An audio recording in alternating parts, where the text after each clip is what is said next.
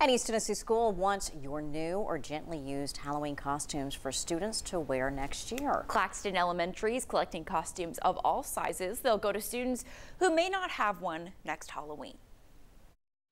It's wonderful to have um, the community helping the school.